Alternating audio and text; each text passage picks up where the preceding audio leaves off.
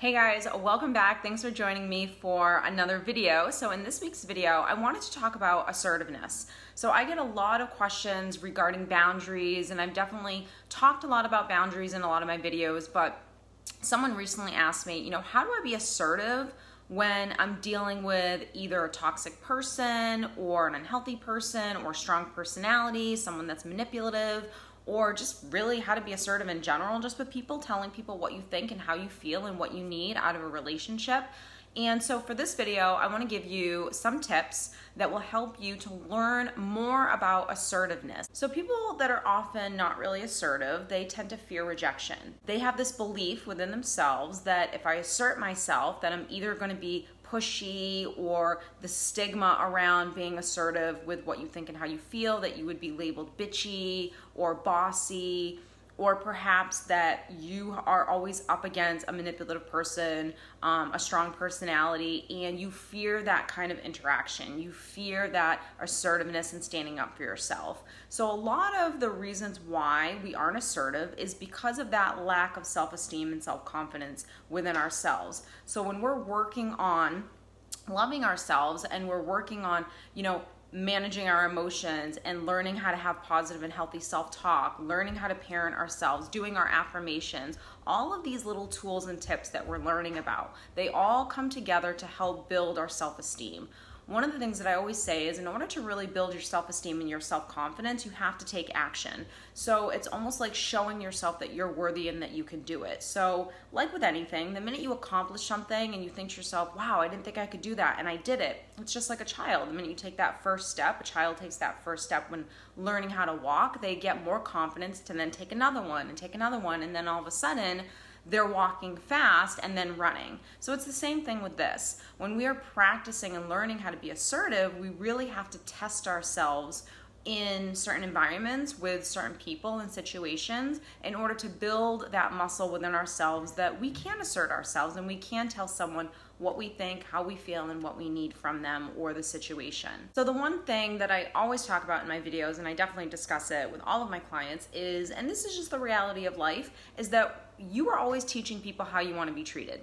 So if you don't like the way someone treats you, then that means that you haven't learned how to teach them how you want to be treated by setting boundaries, by being assertive, by telling someone what you think and how you feel, by enforcing a consequence if there needs to be one, um, and also learning and accepting that no matter what we really do, there's nothing that we can do to change how someone behaves. So, by you learning how to be assertive, this is your opportunity to communicate with other people what you need out of this relationship, what you think, how you're feeling, and expressing yourself in a healthy way. Now, if you don't know how to do this, if you don't know how to assert yourself, if you don't know how to set boundaries, then you're always going to attract abusive people. And if you're not a person, if you're a person that fears confrontation, if you're a person that doesn't like to assert yourself and doesn't like to tell people like what you think and how you feel and that this wasn't okay if you're not that type of person if you get kind of squirmish in those situations and you get really nervous and anxious that you have to stand up for yourself so to speak you're always going to attract manipulative people emotionally abusive people people that are going to take advantage of you. And so if you don't know how to assert yourself it's just like that story and i always tell the story it's just like the story of the shark the shark doesn't go after the biggest fish in the ocean. It goes after, it smells blood. It goes after where the blood is. So it already goes after the weak, the vulnerable, the hurt, the wounded. It seeks out those types of prey. And it's exactly the same thing in this type of situation. So when you're dealing with someone who's narcissistic, emotionally abusive, you know, someone that just has a really strong personality, in a little bit of a negative way, maybe an arrogant way, and you need to learn how to stand up to that. You are, and if you're that little weak fish that's wounded and bleeding, and you know you haven't healed all of that stuff within your own self, they smell that. That shark is gonna smell that a mile away, and they're gonna come right for you. So, one of the first things that I always tell my clients is what is the fear with telling someone what you think and how you feel? Like, what is it that is preventing you from not expressing yourself and communicating yourself to someone else? And really digging into that story that you've told yourself that's probably holding you back from having the confidence to talk to someone else. The other biggest thing with learning how to assert yourself with anyone is you have to know your boundaries. So you have to know what are your standards in relationships? What do you deem acceptable behavior? What are the things that you won't tolerate from people? How they speak to you, how they treat you, etc. You have to know when you're being taken advantage of. You have to know when someone's trying to manipulate you.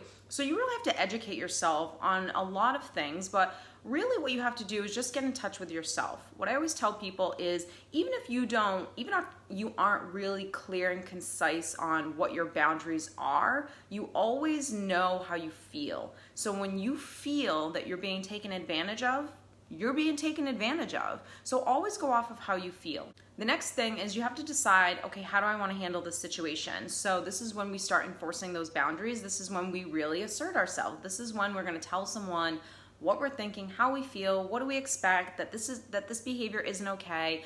And what I always suggest for people to do if you are not comfortable doing this, if you've never done it before, if you're probably shaking your palms are getting your hands are getting sweaty just thinking about having to do this with someone in your life, pretend to be someone else. So, you know, for Beyonce, she's got her, I think she calls her like Sasha Fierce or something like that. You have that alter ego, have that person that's just gonna come in and, you know, you're essentially playing a character for a minute.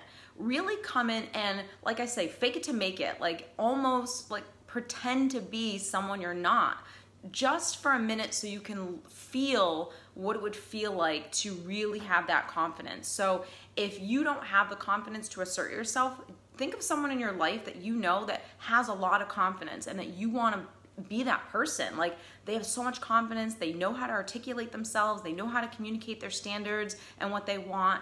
And you see these care, these traits within them that you really would like for yourself. And we're saying something clear. We're always communicating excuse me, communicating clearly with someone. We're always standing up tall. We're always making eye contact with people. So, like any abusive person, they can smell fear. So, if you're, you know, hunched over and you're speaking kind of, well, you know, this is what I need, no. You have to be able to stand up tall and speak clearly and slowly. That's something that I always suggest to people.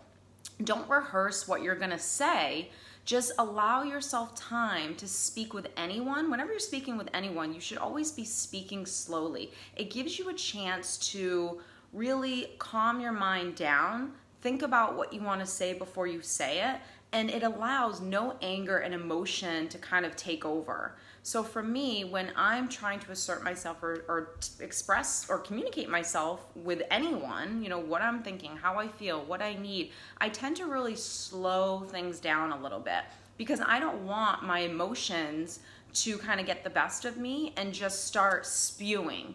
So I want to be really thoughtful in like what I'm saying and make sure it's coming from a loving place. That way I don't get anyone else aggravated or annoyed or really get the conversation riled up. I just want to communicate myself, my standards in the most calm and loving way that I possibly can, not just for that other person, but for me as well. So that keeps my vibration where it needs to be. It allows me to always stay in a good state. Now, when you start doing this for yourself and you go into every interaction saying, okay, this is my opportunity to practice this, this is my test, and you might be able to do it well right off the bat. You might say, you know what? That interaction it was great, but I didn't stand up tall. I didn't feel as powerful as I wanted to feel. I didn't want to I didn't feel as confident or as self-loving as I wanted to feel. Great. Then the next time you go into that interaction again, either with the same person or a different person, you'll keep learning like, okay, what did I not do in that interaction that I wish I would have done? And you'll be mindful of it the next time around. The biggest thing also is when you're asserting yourself, especially when you're dealing with a narcissist, especially when you're dealing with someone who's emotionally abusive, someone that uses guilt and shame, you have to be okay with saying no. So you have to know that by you telling someone that no, I can't do that, or no, I won't be able to do that, or no, that this isn't okay, that is you loving yourself. So a lot of the times, people that you know don't know how to assert themselves they tend to be those people pleasers. They tend to be those codependent people. And in order to really there are many things to do in order to heal that stuff but one of the things is really practicing this stuff. The minute you can learn to be assertive and communicate yourself to other people again Doesn't mean someone's going to respect it, doesn't mean someone's going to respect your boundary, but just that you said it, you did it, you felt powerful, you felt empowered, you now are learning and you're building that confidence muscle within yourself. That's a huge thing that you're doing for yourself. And the more you do it, the easier it does get because the more you're doing it, the more you are proving to yourself, hey, I'm worthy to tell someone that this isn't okay or that this is what I need and that I should be able to express myself to other people in a loving way, that there's no need for anger or any kind of negative emotion, then I'm just telling someone that this is what I need out of a situation. That's the best place to start. And then you can start working on really enforcing boundaries and things of that sort. Communicating, being able to communicate with other people is literally a critical and important tool that you have to learn. And in order to really learn it, you have to practice it. So I hope again that this has helped you guys. If you liked this video, don't forget to give it a thumbs up. Don't forget to hit subscribe down below and I will see you in my next video.